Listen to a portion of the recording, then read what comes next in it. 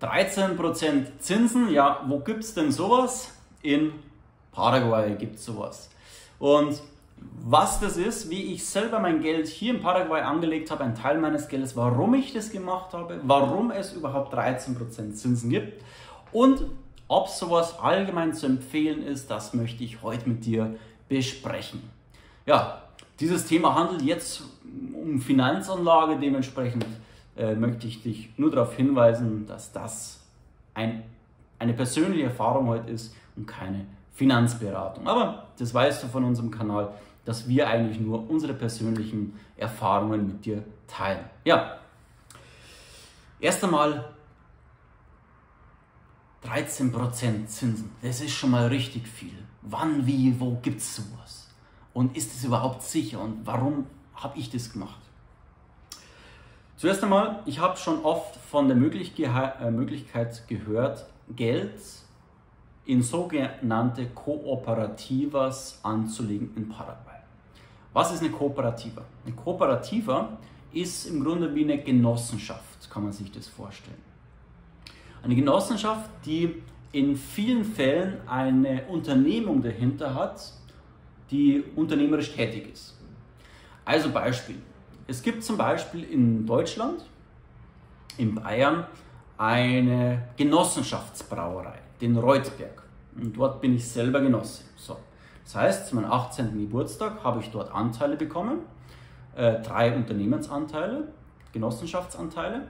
Und mit diesem Geld, mit dieser Einlage, kann man sich vielleicht ein bisschen vorstellen wie bei einer Aktien, ist nicht gleich das gleiche, aber ungefähr. Mit dieser Einlage kann dann diese Brauerei arbeiten. Und dann gibt es halt einmal im Jahr die Dividende für mich, indem ich zur Generalversammlung eingeladen werde und dann gibt es quasi ein zweimaß Bier und ein Händel oder ein Schweinebraten oder so. Oder für die Vegetarier gibt es dann Kässpätzle. Und das ist dann meine Dividende. Das ist im Grunde die Idee einer Genossenschaft. Das heißt, die Idee einer Genossenschaft ist, dass man eine Unternehmung hat, ja, in dem Fall die Bierbrauerei, und dann gibt es viele Mitglieder. Ja. In Deutschland ist die Idee der Genossenschaft deshalb so interessant, weil es bei Aktien ist es so, einer kann alle Aktien, alle Anteile kaufen und bei Genossenschaften ist es meiner, meines Wissens so, dass jeder ähm, Anteilseigner die gleiche Stimmberechtigung hat. Das heißt, wenn hier zum Beispiel dann so eine Generalversammlung ist, wird dann im, ähm, im Bierzelt mit Handzeichen abgestimmt und derjenige, der vielleicht doppelt so viele Anteile hat, der kann natürlich nicht mit zwei Händen abstimmen, also ist ja klar.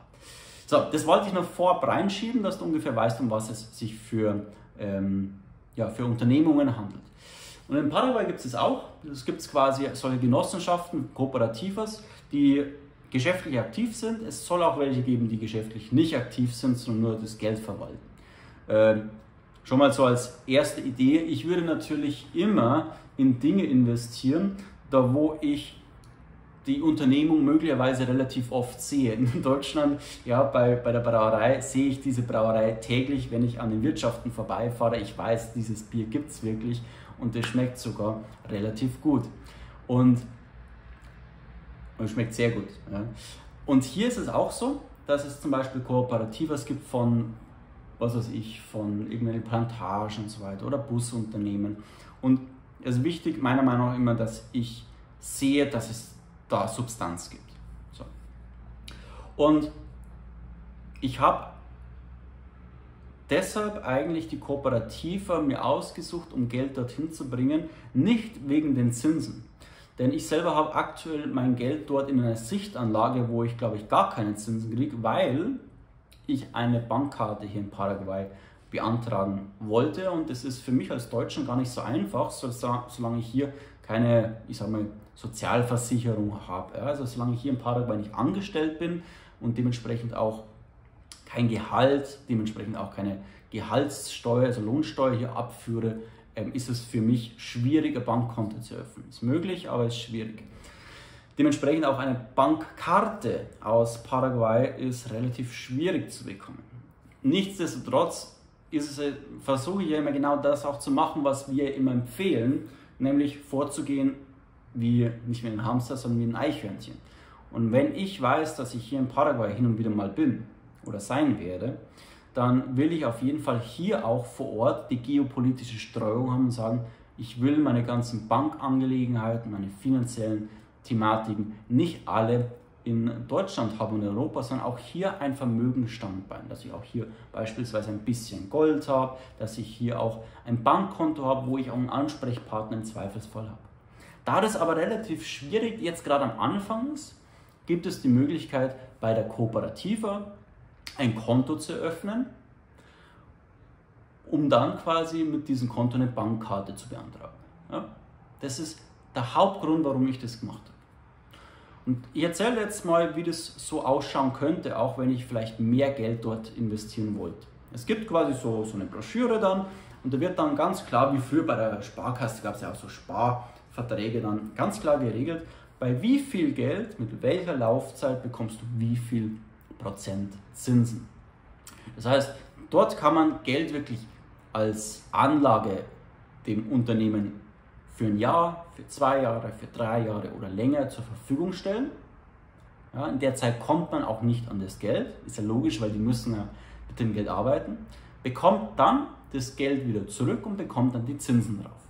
Und logischerweise, je länger ich denen das Geld gebe, desto mehr Planungssicherheit haben sie. Und diese Planungssicherheit heißt natürlich, ich bekomme mehr Zinsen. Wenn ich dann zusätzlich noch mehr Geld zahle, also je mehr Geld ich zahle, also mehr Geld ich denen zur Verfügung stelle, desto mehr Zinsen bekomme ich. Ja? Und so führt es dazu, dass ich bis zu 13% Zinsen bekomme, wenn ich eine relativ lange Laufzeit, das sind so drei bis fünf Jahre, und einen relativ hohen Betrag, also eben so 50.000 Euro, denen zur Verfügung stelle. Nummer eins, eine Frage ist natürlich, kann das jeder machen? Erst einmal nein. Du kannst nicht hier nach Paraguay einfach reinfahren und einfach Geld auf eine Kooperative geben. Du brauchst hier die Cedula, die Cedula, also die Aufenthaltsgenehmigung, im Grunde der Personalausweis aus Paraguay. Den brauchst du unbedingt. Wenn du den hast, dann kannst du das machen. Kannst du dort Geld in großem Umfang dort auch anlegen? Ist grundsätzlich möglich, aber du brauchst dafür einen, einen Mittelherkunftsnachweis. Also ich muss natürlich belegen, wo das Geld herkommt. Und das ist in Paraguay dadurch, dass der ganze Standard natürlich oder die, der Einkommensniveau niedrig ist in Deutschland, äh, fängt es schon bei, bei, bei wenig Geld an. Ja? Also ich muss immer belegen können, wo das Geld herkommt. Und jetzt ist natürlich die Frage, ähm, wie, wie kann denn sowas sein? Wie kann ich denn als Unternehmen 13% Zinsen zahlen? Ich möchte jetzt auf etwas kommen, was wir alle schon wieder vergessen haben, weil es oft so ist, und das geht mir selber so, dass man Dinge aus der Vergangenheit wieder vergisst. Es gab auch in Deutschland Zeiten, wo wir sehr, sehr viel Zinsen bekommen haben, weil einfach das Zinsniveau wesentlich höher war. Also es das Unternehmen so und so viel Geld kosten würde, Geld aufzunehmen. Und das geht in Zeiten dann ganz gut, wenn ich ein hohes Wirtschaftswachstum habe.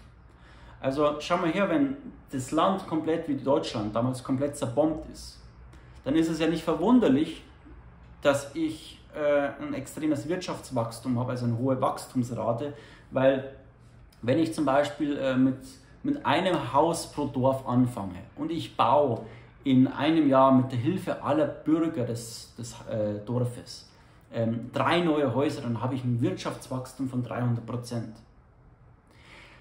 Und natürlich ist es so, dass wenn ich ein gewisses Wachstum erreicht habe, dass die Wachstumskurve abnehmen muss. Und Paraguay hat noch sehr, sehr viel nachzuholen. Ja, die haben natürlich hier teilweise auch ein besseres Internet wie wir, aber wenn man so die Straßen entlang geht, es gibt noch sehr viel nachzuholen. Die sind noch nicht so weit wie wir. Der Grund, warum es in Deutschland keine 13% Zinsen mehr gibt, ist, weil es hier auch nicht die Möglichkeit mehr gibt, 13% Wachstum in der Volkswirtschaft zu erreichen. Weil in Deutschland wir eine ähm, Sättigung haben. Jeder hat genug zum Essen. Ich denke nur mal an Weihnachten. Jeder in Deutschland, also leider, leider nicht mehr jeder, aber eine normale Familie kann sich zu essen leisten. Eine normale Familie hat ein Dach über dem Kopf und der eine oder andere von euch kennt es vielleicht auch, dass man sagt, was soll ich denn noch zu Weihnachten schenken? Das bedeutet ja nur, dass wir alles haben. Und das ist hier noch nicht so. Ja? Hier, wenn ich jemandem ein Geschenk mache, kann ich davon ausgehen, dass er das noch nicht hat. Das heißt, das Potenzial ist da, die Zinsen zu zahlen und Wachstumsraten von 15, 20, 30, 40 Prozent in einem Unternehmen sind hier normal. Ja, also es ist auch logisch. Und darum kann es auch bezahlt werden. Wenn Paraguay mal den Status hat von Deutschland, dass jeder alles hat und ähm, ja, die Wirtschaft einfach stagniert im Wachstum, was die irgendwann machen muss, dann geht es nicht mehr. Also, während Deutschland langsam sich vorbereiten muss auf eine Talfahrt mit der Wirtschaft, ist es so, dass bei Paraguay die Rahmenbedingungen sehr stabil sind. Es ist eine stabile Währung, verhältnismäßig, und es ist eine verhältnismäßig stabile Politik, die sich verhältnismäßig wenig einmischt. Ähm, solange kann es ganz gut laufen. Jetzt ist die Frage natürlich, äh, ist die Währung dahinter stabil? Weil stell dir vor, du hast eine Währung wie in Argentinien. Ich habe jetzt hier noch ein bisschen, bisschen Restgeld aus Argentinien, das ich auch sehr schnell loswerden muss, weil ähm, die haben eine Inflation von äh, 80 bis 100 Prozent, ja 100 Prozent nicht, das geht ja gar nicht, aber so äh, 75 bis 80 Prozent. Das heißt, wenn ich das Geld jetzt nicht schnell ausgebe, dann habe ich von den paar Scheinen vielleicht dann in einem Jahr nur noch die Kaufkraft von vielleicht zwei oder drei Scheinen. Also ich wäre jetzt quasi blöd, dieses Geld zu behalten. Ein, zwei tue ich in meine Geldsammlung, in meine Scheinsammlung und dann den Rest, den muss ich schnell weiterkriegen. Zum Beispiel in Guarani. Guarani ist die Währung Paraguays, ist eine relativ stabile Währung, schon über mehrere Jahre. Die Inflationsrate war im Während Corona oder kurz nach Corona ist die angestiegen auf 8%. Die Leitzinsen wurden dementsprechend auch auf 8% erhoben und dadurch ist die Inflation wieder am Sinken, was einfach dazu führt, dass die Währung sehr stabil ist.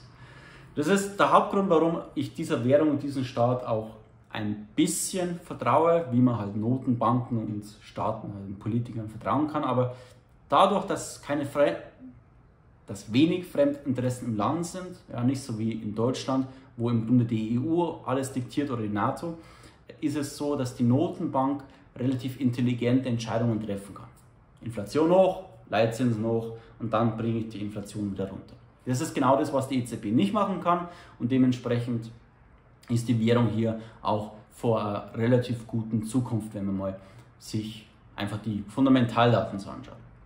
Ja, und was ist jetzt das Coole an so einer Kooperative?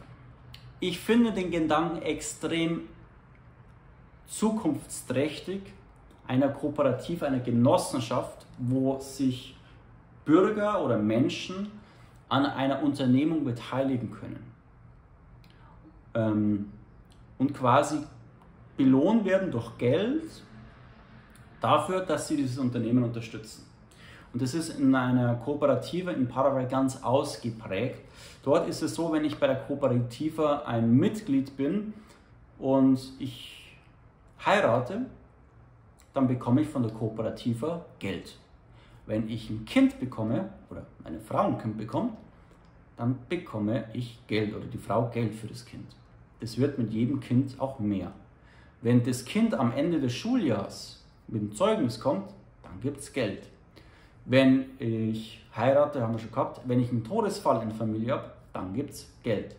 Es sind natürlich nicht die Riesenbeträge, das ist schon klar. Aber es ist eine kleine Hilfe oftmals oder eine kleine Unterstützung. Ja?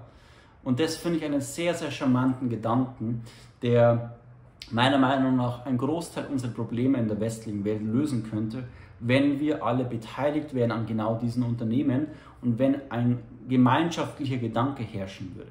Und das ist hier in einigen Kooperativas der Fall und ich finde das extrem charmant, weil ich dadurch ein Unternehmen habe, das ich täglich im Alltag sehe, ein Unternehmen, das den Gemeinschaftsgedanken hat, also wirklich diesen Genossenschaftsgedanken, so wir halten zusammen und wir unterstützen uns auch in verschiedenen Lebenslagen. Auch wenn es nur eine kleine Unterstützung ist. Das finde ich extrem charmant. Ich möchte hier einen kleinen Ausflug, einen Gedankenausflug mal machen, wenn ich an das Thema ähm, Krankenhäuser in Deutschland denke. Wenn ich daran denke, dass Krankenhäuser, die dem Allgemeinwohl zur Verfügung stehen, sollten, in privater Hand sind, unter einem Gewinninteresse, ja, dann ähm, ist doch klar, dass die Krankenhäuser nicht immer mehr abgebaut werden, dass es immer effizienter wird. Und das Argument, ähm, ja, dass die Marktwirtschaft die, der, das effizienteste Mittel ist, um Dienstleistungen, Waren ähm, anzuordnen und zu vergeben, das ist halt einfach, das sehen wir in der Praxis, dass dieses Argument kompletter Schwachsinn ist. Ja? Es wird immer gesagt, Privatisierung ist gut, weil dann werden die Prozesse effizienter. Ja, was hilft mir das, wenn ich effiziente Prozesse habe, wenn ich keinen, ähm, keine Pflege mehr habe? Ja? Wenn alles, wenn ich kein gescheites Essen mehr habe? Ja? Es wird halt nur einfach alles weggestrichen, stattdessen, dass die Qualität besser wird, dass die Behandlungsmethoden besser werden. Also wir sehen ja, dass genau dieses ähm, volkswirtschaftliche ähm, Argument vieler Experten ein kompletter Schwachsinn ist. Auch dieser Leistungsgedanke, ja, wenn ich Kommunismus hätte, ich bin kein äh, Freund von Kommunismus, aber wird immer gesagt, ja, dann würde keiner mehr was tun, weil äh, es gibt ja keinen Anreiz mehr zu arbeiten. Ja, Entschuldigung, das ist doch genau das, was wir in Deutschland haben. Ich habe überhaupt keinen Anreiz mehr zu arbeiten, weil wenn ich arbeite, einen normalen Job habe, dann bleibt im Endeffekt genauso viel übrig, wie wenn ich nicht arbeiten würde. Und dann gibt es noch das andere Argument, dass im Kommunismus der Staat so viel in die Wirtschaft eingreift. Ja, Entschuldigung, was macht denn unser Staat, wenn er die Lufthansa rettet oder wenn er Banken rettet? Also wir haben ja im Grunde einen Sozialismus par excellence aktuell, ähm, den wir hier in Deutschland haben. Stattdessen fände ich zum Beispiel ein Modell interessant, wo zum Beispiel jeder, nicht verpflichten, aber jeder eine Möglichkeit hätte, ein Genosse einer, ähm, eines Krankenhauses zu werden. Und dieses Krankenhaus keine Gewinnerzielungsabsicht hat, beziehungsweise natürlich intern effektiv arbeiten muss, dass am Ende des Jahres ein Gewinn übrig bleibt, der dann entweder an die Menschen ausgeschüttet wird oder investiert werden kann in vielleicht neue Gebäude, neue ähm, Technik oder was es halt sonst noch für den Bedarf gibt. Wodurch die Leute, die in der Region leben, als beispielsweise das Thema, äh, wenn es um so, äh, ich kenne jetzt die Fachbegriffe nicht, also die die Kliniken, wo Frauen hingehen, wenn sie halt Kinder gebären, ja, Geburtskliniken, die werden ja überall zugemacht. Ja? Auch im Süden von München weiß ich, dass das immer schwieriger wird. Nur in der Region ist es ja so, dass die Menschen in der Region ihr Kind kriegen. Ja? Und warum sollte man nicht in der Region einen Anlaufsteller genau für sowas haben, wo sich jeder finanziell beteiligen kann und wo man vielleicht auch ähm, für den Erfolg dieser Unternehmung auch eine gewisse Dividende bekommt. Ja? Aber nicht so, dass ich einen Aktionär habe, der alles wegstreicht, sondern dass ich den Gemeinschaftsgedanken habe, dass dieses Krankenhaus im Eigentum ist der Region. Dass nicht ein ausländischer arabischer Investor dieses Krankenhaus unterhält aus Finanzgedanken, aus ähm, Profitgedanken, sondern dass dieses Krankenhaus für die Gemeinschaft da ist. Und das hat mir hier das Thema Paraguay extrem gut gezeigt, weil natürlich ist es hier nicht so paradiesisch, wie ich mir das jetzt vorstelle, aber der Gemeinschaftsgedanke ist hier extrem wichtig und finde ich extrem interessant. Letzte Frage natürlich, äh, ist es was, was ich jedem empfehlen kann? Und ich persönlich beantworte das immer so, in einem Land, wo ich nicht oft bin, in einem Land, wo ich auch keine Beziehungen zu den Leuten hier habe, würde ich gerade solche Sachen, die ja nicht ganz trivial sind, ja, man muss das ja alles auch in Spanisch machen, braucht da vielleicht jemanden, der uns bei dem Übersetzen hilft, würde ich solche Sachen ehrlich gesagt nicht machen, weil ich brauche Vertrauen in die Institutionen, ich brauche Vertrauen in die Leute und ich muss auch äh, handlungsfähig bleiben. Ich habe es gemacht, weil ich weiß, dass ich hier in Paraguay wahrscheinlich noch öfters sein werde, weil ich hier meine Leute habe, auch deutsche Leute, die Spanisch sprechen, weil ich selber mittlerweile ähm, ja, angefangen habe, Spanisch zu sprechen und äh, auch das Ziel habe, Spanisch fließend zu sprechen. Ähm, weil ich hier auch einen Anlaufpunkt haben will, wo ich auch das Geld hier zusammentragen kann. Ja? Dass im schlimmsten Fall, wenn es mal zum Blackout in Europa kommt, ich hier notfalls, ich sage mal, meinen Goldbeutel nehmen kann. Ja, so, ähm, ich sage jetzt mal, so eine Goldunze dem Taxifahrer geben kann und der fährt mich dann zu der Kooperative hin und da ist mein ganzes Geld, mit dem ich vielleicht mal ein paar Monate hier leben kann, ohne dass ich auf Euros oder US-Dollar im Bankkonto in Europa angewiesen bin. Ich glaube, dass das sinnvoll ist, sowas zu machen. Ob es sinnvoll ist für jemanden, der einfach nur in ein Land fährt, um das Geld äh, mit hoher Rendite anzulegen, das persönlich weiß ich nicht. Was auf jeden Fall sinnvoll ist, was ich einfach hier immer wieder mache, ist ja, in den sichersten Wert der Weltgeschichte zu investieren. Denn so sehr ich dem paraguayischen Staat, so wie man es halt machen kann, vertrauen kann, beziehungsweise auch einfach verstehe, dass es hier weniger Fremdinteressen gibt, dieses Land für viele große Machtinteressen einfach viel zu unwichtig ist. Ja, es ist immer gut, wenn man ein Land hat, das so ein bisschen im Schatten läuft. Ähm, ich glaube, dass die ihre Währung relativ gut managen. Aber es kann eines immer passieren, dass es genauso läuft wie da drüben über dem Teich, wo ich eine Währung habe. Ja, das sind jetzt argentinische Pesos, die einfach eine Inflation von 80% haben pro Jahr. Das heißt, dass ich im einen Jahr in Bayern könnte man jetzt sagen, 10 Brezen kaufen kann, im nächsten kann ich nur noch mit dem gleichen Geld zwei kaufen. Da drüben ist das passiert. Und sowas kann in jedem Land der Welt passieren. Gerade wenn die Notenbanken ihren Quatsch machen. Und darum sage ich, einen gewissen Betrag kann man sicherlich in sowas investieren. Macht für mich persönlich auch Sinn, in meinen Lebensumständen. Aber wenn ich Wert erhalten will, dann mache ich das. Dann gehe ich in Silber, in Gold. Wenn du wissen willst, wie auch du es machen kannst, wie du in Silber in Gold investieren kannst, dann melde dich zum kostenlosen Beratungsgespräch. Wir zeigen dir, wie du mit Gold und Silber ja, dich so aufstellst, dass egal was mit den Währungen passiert, mit Euro passiert, mit den US-Dollar, du auf die sicheren Werte vertrauen kannst dass vor allem diese sicheren Werte auch dann noch da sind, wenn der Sturm vorbei ist. Bis dann zum nächsten Video. Ciao. Bringe dein Geld unter deine Kontrolle, bevor du es durch die Vernichtung der Inflation verlierst. Jeder Tag, der vergeht, ohne dass du handelst, ist ein weiterer Tag, an dem dein Geld im Feuer steht. Es verbrennt bereits täglich durch die Inflation. Willst du warten, bis die Regierung weitermacht?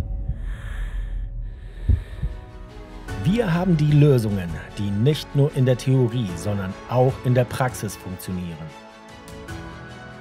Fordere jetzt kostenlose Informationen an.